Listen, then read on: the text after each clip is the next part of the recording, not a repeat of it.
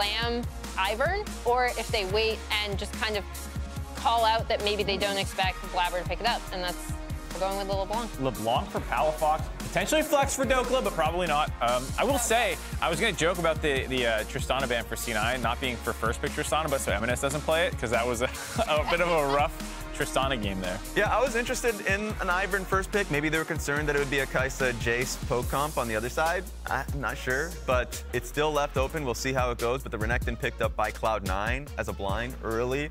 Uh, do you like that so far? I like Renekton a lot when Jax is out here. Um, it's actually not that easy to pick a physical damage top laner into Renekton that can beat out, edge out their Renekton for the majority of the game. So normally Jax is really good at matching him.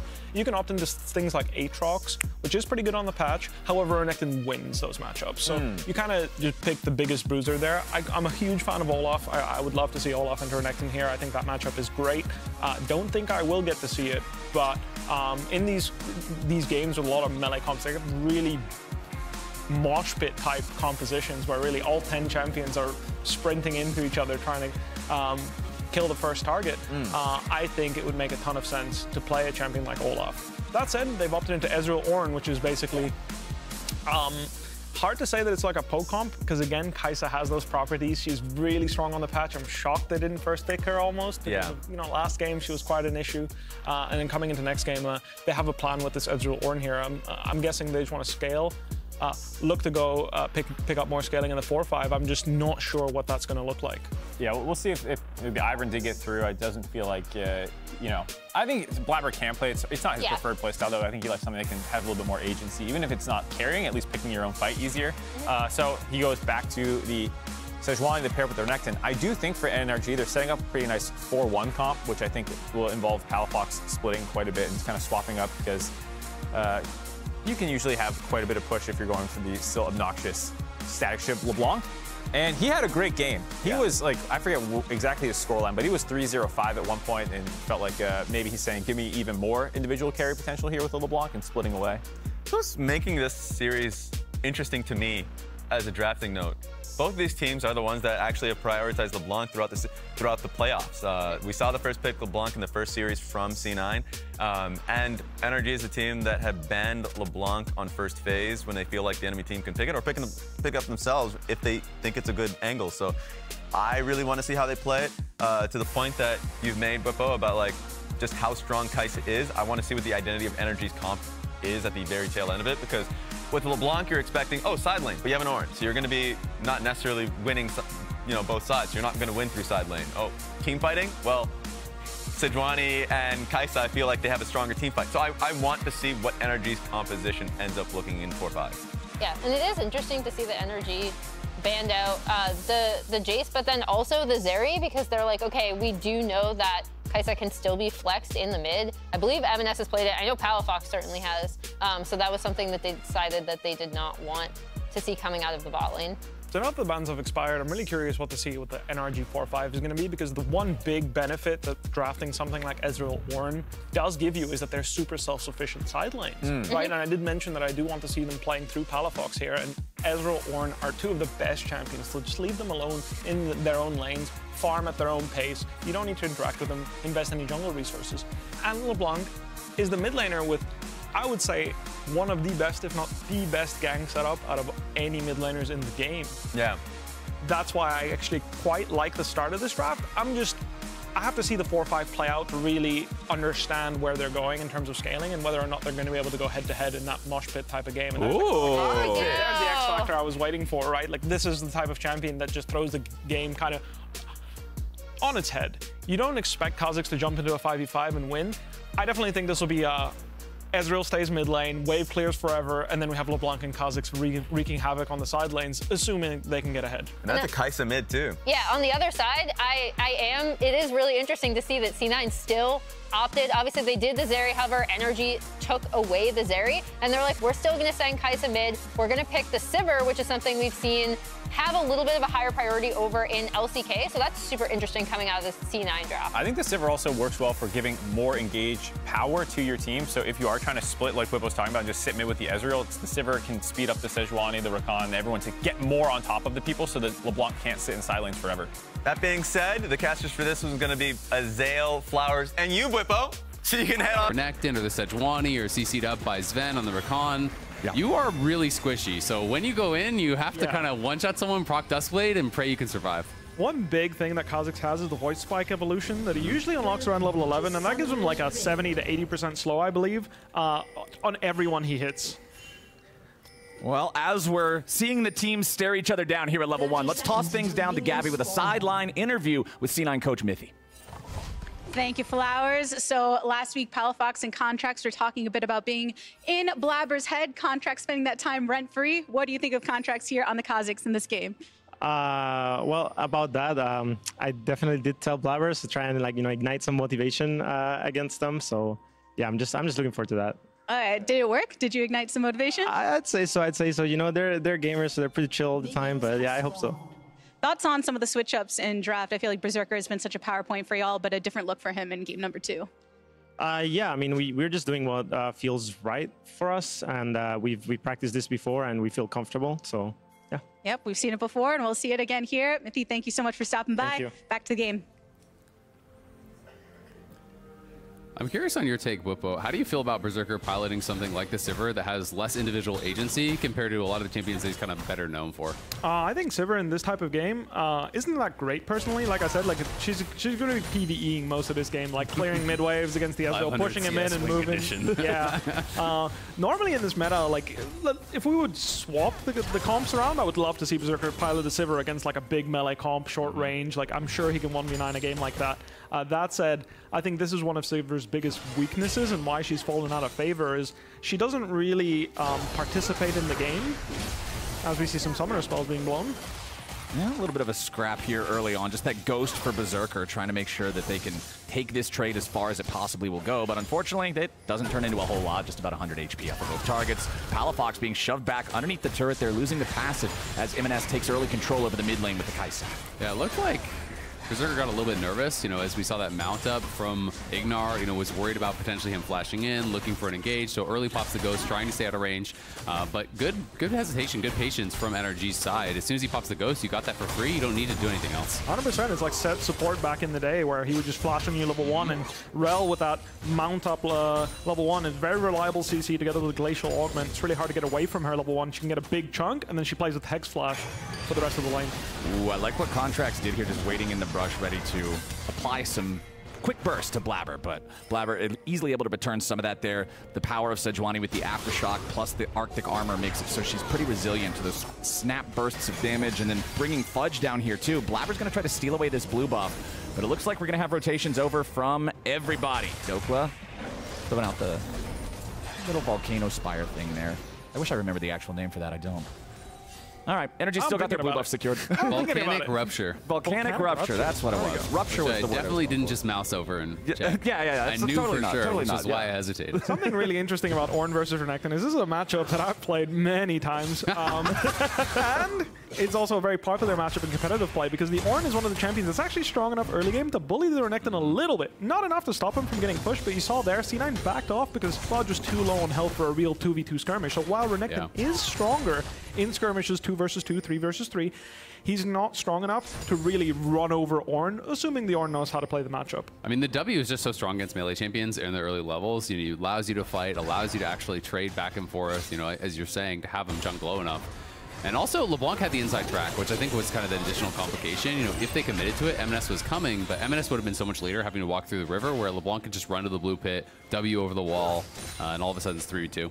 And as we're talking about individual lane matchups and how the champions interact, important thing to note what happened on the screen right there. Berserker's reaction times are easily fast enough to reactively block the Shattering Strike from Ignar's Rell, but Fudge and Blaber now looking for Dhokla, ready to flash follow as the Ornn tries to get away. Blaber staying on top of him for the Aftershock proc, and it's first blood to the Croc. C9's on the board. Nicely done by Cloud9. They fully commit to it. You know, Dhokla was trying to shove in that wave, trying to actually be able to push that up. He had a ward not in Tribrush, but by the time he sees him, they both just commit. They flash in, they wait out the Bellows Breath, they get the stun, and Blaber's there to follow. One of the big reasons why invading the enemy top side. So Blaber did a three camp bottom side into red and then straight into Contractz's jungle. As a result, because Fudge crashed the wave, it's going to bounce back.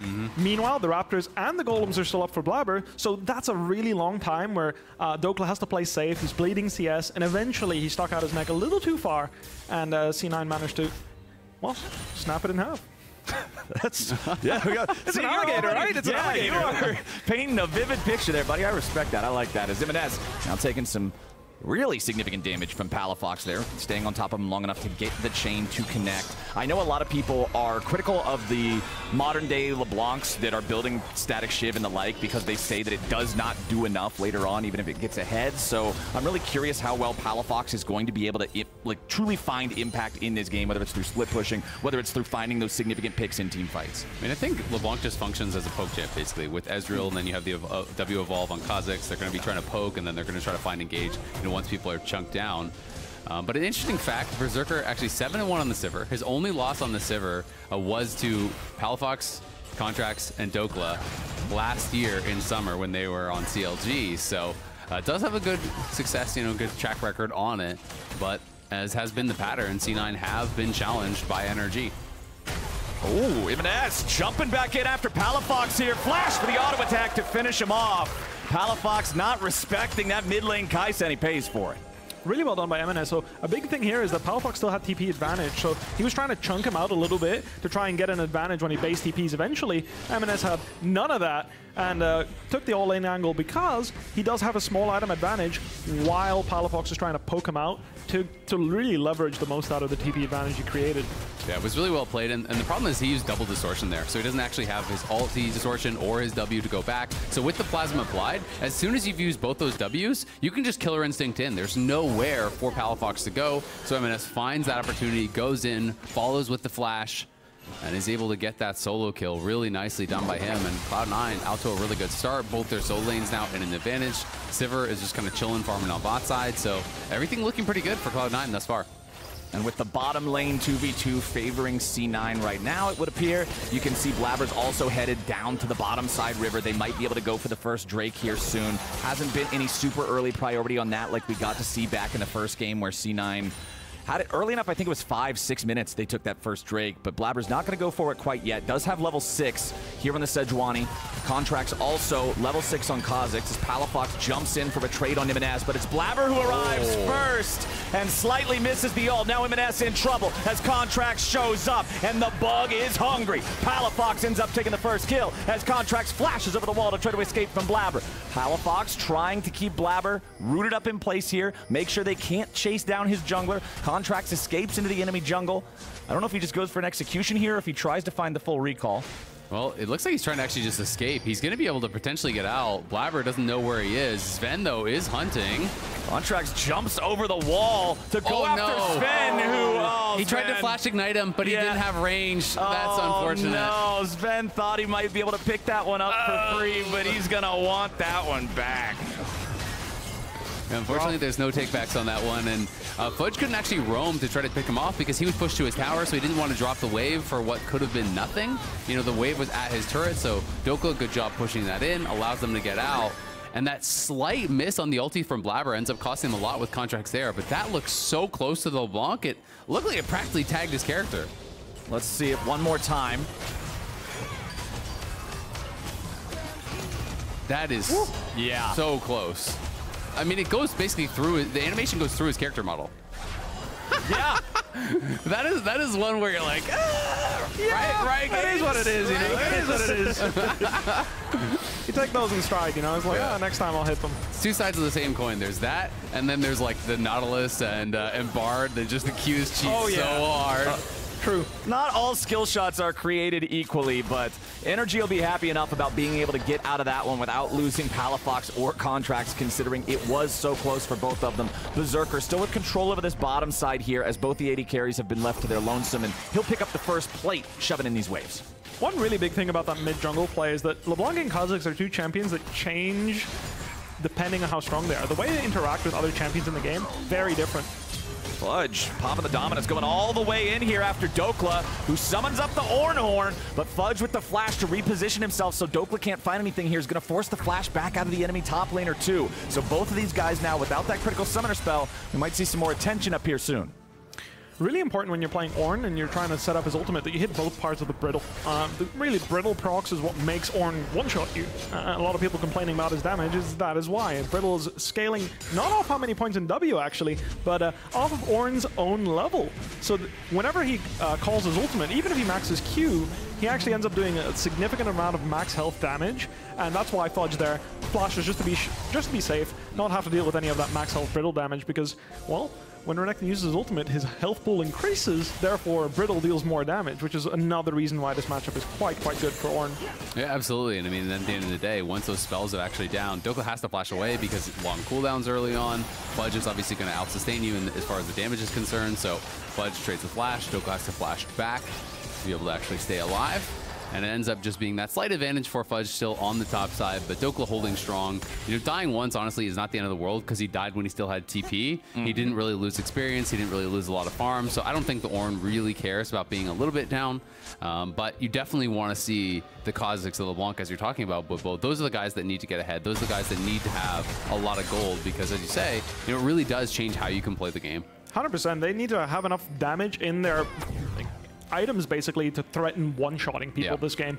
Because even though Ornn is fantastic scaling, and while Ezreal on his own is also great scaling, looking at the C9 comp together, uh, I think the AP Kai'Sa as well as the Sivir, that's really scary scaling to stare down. And I yeah. think that uh, Ezreal, Kha'Zix, and LeBlanc have like intangible scaling. Now, what do I mean by intangible scaling is at the end of the day, the amount of damage these champions can do, 5v5, side lane, whenever, it really depends on how good you are at the champion because they're so skill shot dependent. So even though you could be the best Ezreal player in the world, if you uh, choke one of the team fights, suddenly your champion does way less damage than it's capable of. So it's very hard to judge like, oh yeah, NRG, they have Kha'Zix LeBlanc. Yeah. I think that's where the scaling is weakest. But for a champion like Ezreal, he can be a fantastic scaler if you're popping off in a team fight, never missing Qs, or he can be awful because you're just not connecting the skill shots. And I mean, with Duskblade the way it is now, I always feel like it's so important to get ahead because your survivability is your damage. Getting in, one-shotting someone and proccing yeah. Duskblade is what actually gets you out and what keeps you alive. So you need to have that damage, but they're going to look for a dive on top side. Yeah, they want to kill Dhokla before we can even hit the second part of the Ornn Horn. They'll slice, they'll dice. It's easy money for C9. The dive works beautifully, and Palafox can't arrive in time to help. Really well played. I mean, Dhokla pops the ulti early, but all Cloud9 had to do to survive and make that an easy dive is deny the redirection of that ulti. They're able to stun him up on it, able to CC him on it. Now Blaber up here on top side with Zven. Really nice macro play there from C9, of course, finding that two versus one setup. No flash horn. It's not as easy. I, I do think he, he could have eaten and, and, created a little bit more counterplay, as he might find a solo command on, on Fudge here. Oh. No, close. Nice from Fudge there. He had the minion wave so he could get the second part of the slice and dice for the extra distance to break the chain. That'll allow him to escape Palafox. As EMENES being respectful here of Energy, he knows the fact that they just got done making that play up on the top side so his own guys are resetting. He does not want to be caught out, does not want to be punished. EMENES, the weak link on Cloud9 back in game number one, the one who was making the most individual mistakes, I would say. So glad to see him cleaning that up a little bit, playing a little bit more safely here in the second game where Cloud9 is still up one and a half thousand gold, 13 minutes in. We've got two minutes until the second Drake of the game spawns. Well, honestly, I think EMENES feels that he has something to prove in playoffs because he is one of those guys that was overlooked a little bit, you know, as far as All-Pro, especially compared to last split. There was so much talk about EMENES, and now everyone kind of had some of these other mid laners, you know, up there with him or above him, right? You know, yep. Corey was above him in All-Pro, JoJo was above him in All-Pro, and there was honestly a lot of discussions about, hey, maybe Palafox actually deserved third team over EMENES as well. So I know EMENES has been wanting to come in in playoffs here and silence those doubters and try to have you know, a good series of performances to be able to kind of reestablish himself at the top of the table. Yeah, no doubt. Coming in in a successful team, at least like pretty successful team, and, and, and kind of just being the glue for the team as the guy that comes in uh, is something I can relate to. And eventually kind of want to find your stride is like, what am I known for, right? Am I just glue? Is that all I, do I just help other great players play better? yeah. No, not, not in not, that sense. Not in not that a man, just glue. you know, am I someone that can elevate the team through what my performance? Am I just glue? just a little bit of existentialism here in, in game number two.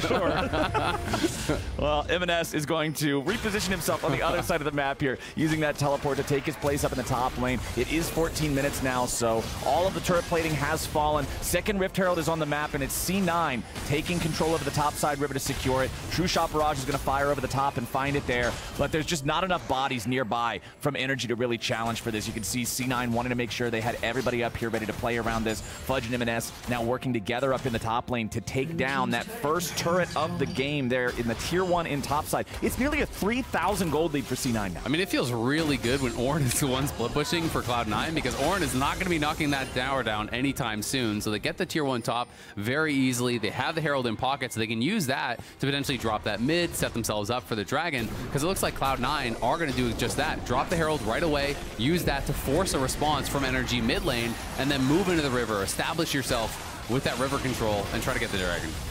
Well, Herald summoned up. I don't think this one's going to get stopped before it completes the charge. There we go. Not quite enough to finish off the turret, and Energy's going to pop it immediately thereafter. Blaber coming in, finds the stun on a Contractz. They want to try to dogpile the enemy junglers. Zven is low, but so is Dhokla. EMENES grabs the kill on Dhokla to start things off, and Ignar's not going to escape as he tries to get out on the side. C9 popping two in trade for nothing. Big fight there for Cloud9, and they're going to be able to get the mid lane tier one. They're going to be able to get the Dragon, and they get the team fight, so they get everything off of that. Blaber just pulled the trigger, I think, a lot more quickly than Energy was expecting. Yes, Contractz is able to jump out and survive, but that means he can't re-enter the fight. Now EMENES potentially caught. Yeah, EMENES jumped on True Shot Barrage over the top to finish him off. Nice pick up there from Energy to at least get something on the back end of a very heavily C9 favored play. I really love the way C9 played that entire sequence, all the way back to EMENES's teleport. They realize, oh damn, we're trading sides right now. There's a potential threat on our Kai'Sa to get dove. Instead of trying to enter NRG side, they teleport the Kai'Sa all the way to C9 side, trade top tier 1 plus Herald, and then when they realize NRG's uh, stuck underneath the tier 2 top, because uh, Palafox still had to go catch that wave, um, he has to use teleport mid, and it turns into a straight up 5v5, which they love to take, of course. Yeah, absolutely. I mean, they go in on Contractz. Contractz jumps out, but then he's out of the fight. He has no more contribution. So sure, he didn't kill Contractz, but Ignar is left out to dry. The Ornn is left out to dry because the Cloud9 DPS are not threatened whatsoever. They are free firing. They're knocking them down and then EMENES going a little bit too far. I assume that's his reaction not to the team fight, but to his death afterwards. Yeah, I uh, so I assume so. this is a little bit out of order, but EMENES, I, I, expect, was going up towards top lane to try to catch that wave, but went a bit of a greedy route, does get caught by Palafox, and nice combo with uh, FBI and Contractz. Definitely looks like he's trying to prove something. Last game, the same thing, where he's trying to take the tier 1 mid whilst they're taking Drake. Same idea here. They're doing Drake. He's trying to take tier 1 mid. It feels like he's trying to get an extra gold lead or something. Um, really trying to prove that he is uh, the alpha mid laner, but uh, it turns out he's kind of getting caught and dying in those sequences. So refuses to be glue. I think he's, a, he's in a rebel phase. You know, he's not satisfied not being glue. glue. He's not satisfied being glue. Um, it, is what it looks like to me. Uh, obviously, still playing a very solid game, finding that solo kill. Just I think he's trying to squeeze water from yeah. stone a little bit yeah. here. Wants it a uh, bit too much, is how I, yeah, I kind of say. Where it's, and, and I can understand that, you know, where you are having a game and you really want to show yourself, you know, at your best, you're trying to kind of push for more, and it makes you play worse at times, right? It makes you make those mistakes uh, because you just wanted a little bit too bad. And I think that has been uh, something that has been happening to EMENES a little bit, but he did get that solo kill early in lane. He's still in a good position in the game, has two items completed here. They took down the towers, he got the solo kill, so Cloud9 way out as far as the gold is concerned, and they're going to have some pretty powerful carries here, as well as a lot of CC and a really tanky front line, so it could be difficult for Energy. Yeah, you can see that Cloud9 gold lead still at about 3,500. It was only just now you saw Palafox take that tier 1 in the bottom lane. That was the first turret secured for Energy in this entire game. 18 and a half minutes in now. Objectives have been a little bit of a struggle for him. C9 controlling Heralds, the Drakes being even, and the turrets just not showing up is a big reason why that gold lead feels as big as it does there for C9. But second items are also coming online for the Cloud9 side. Not quite there just yet for Energy, so they're not wanting to take any fights right now. They don't want to fight fight with this power spike disadvantage. Nice reaction there from Berserker to just make sure the True Shot Barrage can't do anything to him. You've already got Nashor's and Static done for the Kai'Sa. Still just the Static on the LeBlanc. Over in the jungle, the Radiant Virtue plus the Sunfire Cape makes Blaber a very, very durable Sejuani. Absolutely. I also really like that Zven didn't just autopilot Shurelya's like I think a lot of support players do. I think Locket makes way more sense in this game when you're playing against Kha'Zix, when you're playing against LeBlanc, these champions that need to hit that 100 to 0 damage. A Locket shield can make all the difference between that Kha'Zix just dying and the Kha'Zix actually finishing off your, your AD carry and procking Duskblade and getting out now that the uh, items are getting completed for both Kha'Zix and LeBlanc, I'd love to see them attack EMENES on the side lane. I don't know if they can attack Fudge reliably because, of, of course, it is a Gore Drinker Renekton. Renekton at this point in the game still quite powerful. He's about to finish his Black Cleaver, if I'm not mistaken, here on this recall. So I don't think he's going to be a valuable target. That said, I think EMENES needs to get attacked and fast because the next 5v5 is coming with the next dragon spawning. And of course, now Baron being on the map, losing a 5v5 might just explode your game. Where are you at in the Kai'Sa Mythic discussion? Because he is going to be going Rage Blade. Uh, a lot of people are very opinionated about that. Oh, hold on. Contractz's getting locked down as he tried to find a potential pick on Zven, who still escapes off to the side. The Ornhorn goes through, but it's Ignar who's about to drop first. Blaber kills him with the second part of Sejuani's W, as Palafox at least cleans up Zven and makes it a one for one. Dhokla's trying to get away now, but Berserker is fired up and ready to go with the Sivir speed. Blaber keeps the chase alive, going after Palafox, but LeBlanc is too slippery. Cloud9 trades even with energy, but they've got higher health bars, they so they're back Baron. up into the top side river towards the Baron. Yeah, they can threaten this at the very least, make them come. They know the energy has to base. At the very least, you want to get the TP from Dhokla, I think, here, and then maybe turn and look to get something done. But with double marksman, they could commit to it if they want, but it is risky against Kha'Zix to flip. Contractz is already half HP and has no ulti, though. The entry point is difficult. EMENES down to one quarter HP. Palafox going to force them back. So Energy does answer. They do have to spend the teleport from the Ornn, but they get C9 off the Baron. One really big thing that I'm seeing from IRGs, I don't think they recognize that they're really poke champions. Like, Contractz flew in there on the, onto the Rakan as if he was trying to one-shot him. They're really playing fights super quickly and fast, as Fudge is looking for this pick on top lane. Palafox going to need to get away from two here. Fudge going to go pop the early Dominus, get that Fury charging. Palafox wants to kite him around here with the chains. A lot of burst damage onto the LeBlanc. He resets his position back into the alcove, but Blaber's got him, no problem. C9 picking up a freebie. Really sucks to be NRG this game. yeah.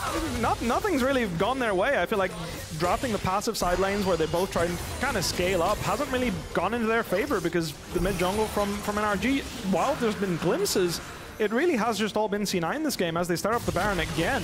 Berserker getting caught here. Yes, he spell shields the crash down, but FBI following it up. Nice shutdown on the enemy marksman. C9 still got that Baron at about 4,000 HP. True shot barrage fly through. Contractz on the backside of the wall. C9's got to be careful about this when they don't just want to give this objective away to Energy.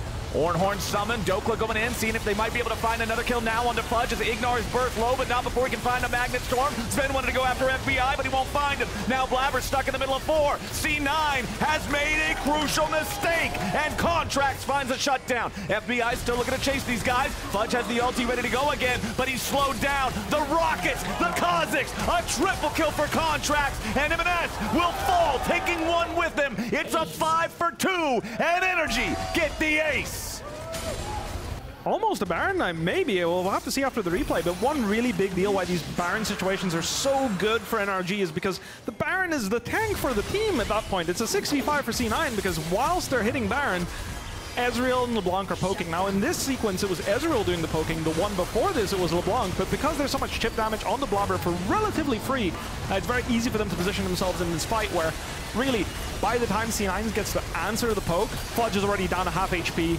Yeah.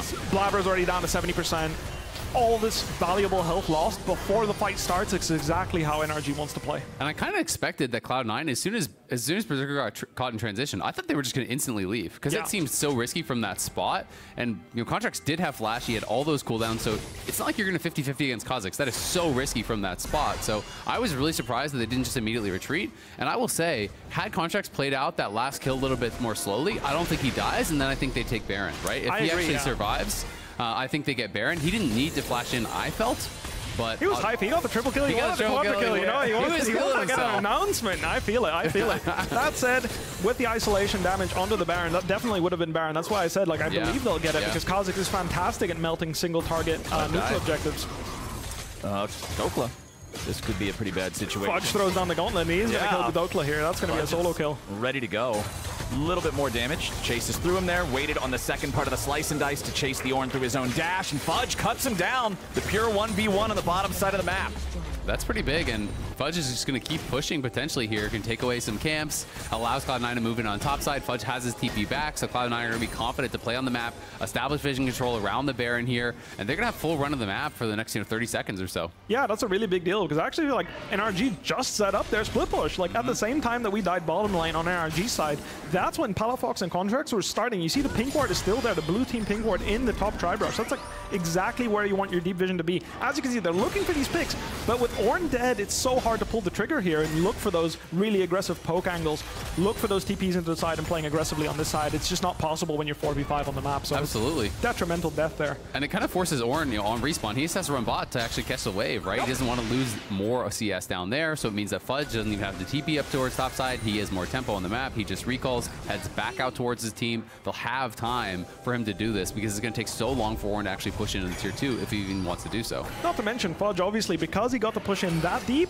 it's his turn to move into the top side. And mm. if C9 were to choose to contest this top side vision against the Kha'Zix and LeBlanc, they would break them again. In this case, they decide to go into the bottom side, uh, not opting into top side because we're uh, completing very important items on EMENES here as he finished his Mythic. You asked me about what I think about Guinsoo's. I think, realistically speaking, both Mythics are great for her mm. as they make the pick here.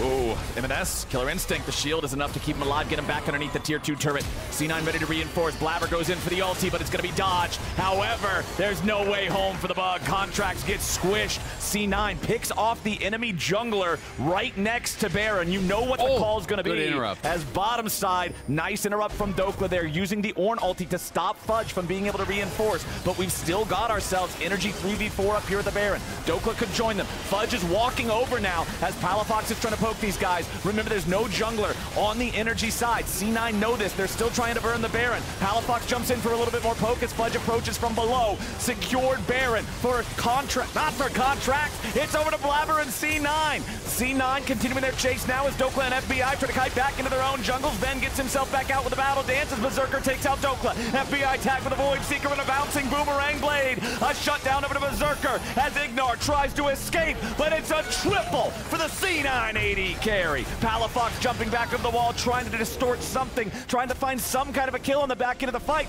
Contractz is coming in. He finds Blaber. Immediately gets the first kill. Now EMENES has to try to escape, and Contractz looks for more. Flash into the queue, but it's not quite enough as EMENES flashes away to escape. My god, what a long fight. Really, yeah. really nice play by C9. They're playing against Ezreal. Ezreal entirely skill shot based, like I mentioned. And what they did was put the piggy in the front, everyone else behind the purple snake, and you can't get hit by his poke. So what ends up happening is FBI is trying to get Poke into the backline. However, because he's ignoring Blaber and his enormous health bar with how fed he is this game, Oh my, another pick here. Yeah, Contractz just oh. has no chance. He's isolated, so he takes every bit of damage from that Icathian Rain. Just gets bursted down by Zven and EMENES you asked me about Kai'Sa's build, I'm just going to interrupt what I was saying and say, look, if she can do that without Luden's Echo, then, you know, like, what does it really matter? You know, like, she wants it to either way. I mean, one auto attacks you four times, the other one auto attacks you twice, one shots you. I mean, like, two ways down bar, the same road. My health bar disappears either way. I do think Luden's is a little bit more optimal because you do have less counterplay to her max range poke. If she is hitting you with Guinsoo's, that means you get to interact with her, which is a privilege uh, you don't always get playing against Kai'Sa. yeah, she's often four screens away one shot to you, so. Pretty much, yeah. As I was saying about the Baron sequence, is uh, a big thing about Ezreal's poke is he needs to hit the first target he, he, he's throwing his skill shots at, right? And before you finish that armor penetration item, that all-important Serylda's Grudge, tanks do a really good job of just eating the Qs. And because they ignored Blaber trying to poke the people in the back, it bit them, like it kind of bit them in the ass because the Sivir just ran them over with the Sivir ult, Sejuani in the front. They didn't have enough damage anymore. He wasn't low enough to the point that they could ignore him either, so he just ran over NRG in, in their jungle and ended up getting Baron and a million gold at this point. That's like, what, a 5k gold swing nearly? I think four and a half or so? It's a lot, yes. Plus 4,596 on that power play. Let's take another look at the Baron and the subsequent very long fight. Yeah, it's like you're talking, you look at MNS, you look at Berserker, they're kind of just playing with the Baron in between them and the Ezreal and then they just make the call to go forward. And Fudge, Blaber piling in, Zven finding a bit of a good engage there. They're able to burst down Dhokla, and then the chase is just on. It's such a long sequence, but Cloud9 have the confidence to move forward because their carries are untouched. That is the key. It's just about making space for Zven and Blaber and Fudge. They just have to create that opportunity for Berserker to auto attack.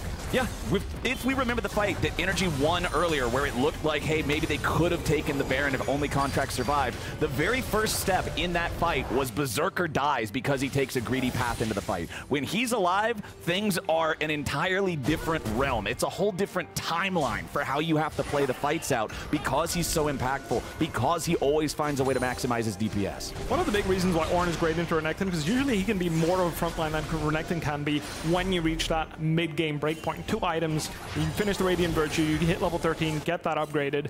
That's usually the point where you're tanky enough that you can walk in front of the enemy, like in front of the enemy Renekton and their comp and kind of tank them.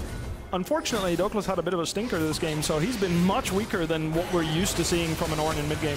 Blaber goes in. They immediately lock down Palafox as he has to distort away. Ignar is going to be caught by Zven with the grand entrance off to the side, and Fudge's follow-up guarantees a pick on the enemy support. C9 5v4 now for the next 35 seconds. Yeah, Cloud9 have full run of the map. They are dominating at this point. They're going to be able to push in top, push in mid, get all those waves moving in the right direction, and they can bounce back and forth between these two lanes taking away jungle camps, really limiting the resources here for energy.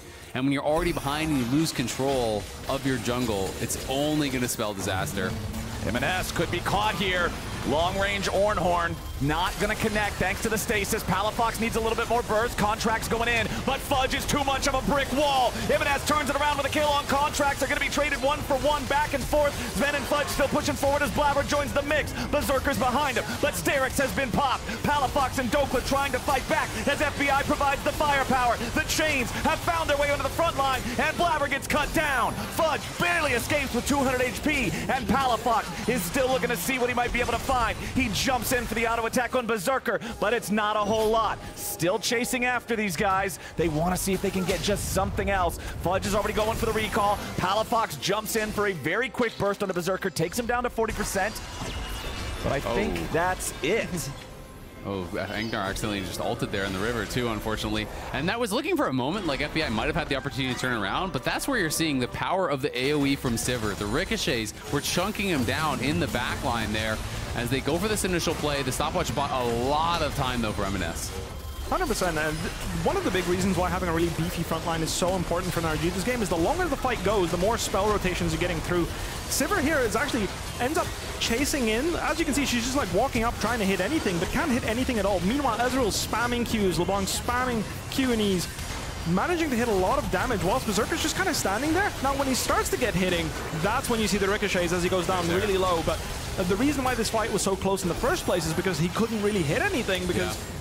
C9's running into the poke comp. It's just interesting, though, because in those final moments, right before he started getting, uh, FBI started getting hit by the Ricochet, I was thinking, this could be a chase down. This could be, you know, energy actually taking them all out. But FBI was already low from the previous exchange. He was sitting at, what, 30, 40% health. Then a couple Ricochets hit him. All of a sudden, he has to E backwards instead of forwards. He can't yep. continue that chase, and that ends the exchange which Energy really wanted to keep going because they're in such a desperate spot right now. They need to find some way kind of claw back some position in this game. And I do think it's going to require some C9 mistakes from the position that they're in. 100%. I mean, the, the, the hourglass coming out from EMENES means he can kind of jump in, trade one for zero, uh, dro drop the stopwatch, and then even though he might die after the stopwatch, that gives enough time to Sivir and the rest of C9's comp to run in and kind of pile on and finish off whoever tried to trade kills with uh, with EMENES. They also have GA, they have Hex Drinker, all these luxury items are through.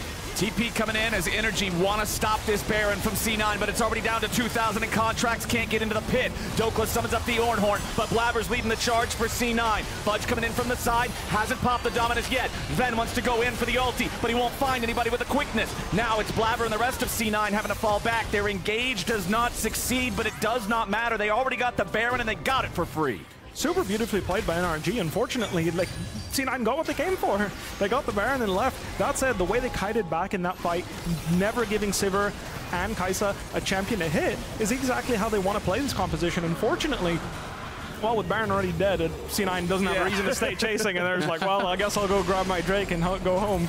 Uh, they're pretty happy with that. Uh, that said, that is the way that NRG needs to come back in this game. They need to get that Death Cap on LeBlanc. They need to get the Ravenous Hydra onto the uh, onto the Ezreal, sorry, and then hopefully they have enough damage to maybe uh, play like a 30 second, 40 second fight where they can yeah. come back. But uh, it'll be really hard against this Baron buff, and especially C9 doesn't mind going to six items. Like they, are fine going for this Mountain Soul, or I believe, sorry, Cloud Soul. Mm -hmm. Yeah, They're okay with scaling. And I mean, Cloud Soul is going to make it that much more difficult to actually kite out with Sivir ulti plus Cloud Soul. Renekton, I always feel, is pretty strong with uh, with Cloud Soul as well. As Rakan. Rakan, even Kai'Sa going into the backline. They actually have a lot of champions that are pretty happy to play with it. So I do think that makes things more difficult. And as you were already saying, Bwipo, you don't have anywhere to kite when they pin you in the base with a Baron buff, right? True. So that is the difficulty, is at a certain point you have to stand and fight, or you have nowhere else to fight. EMENES going for a little uh, Abyssal Mask, perhaps? I'm not sure. Maybe he's, he's, he's trying to get in melee range. Uh, that's a Negatron Cloak. That is not something I'm used to seeing on Kai'Sa. That said, I like it. Just 50 magic resistance. It's all he needs. All he needs is to stay alive. The longer we stay alive, the more odds Sivir is going to be hitting. When Sivir starts hitting, we win the game. Well, C9 going for the four-man push here in the top lane. They've got EMENES back in bot, dealing with Palafox in the 1v1. These two are going in. EMENES tries to go in for the killer instinct. Palafox is going to drop. C9 wins the side lane fight. Now EMENES can recall, teleport to join the rest of the team, and look to end the game if that's the way they want to play it. Yeah, I think he, he very well will TP. He's going to TP on the ward, so defensive TP doesn't want to risk getting engaged on as he arrives. And Cloud9 can start to push in here. You can see Sivir staying top lane, trying to escort in that wave.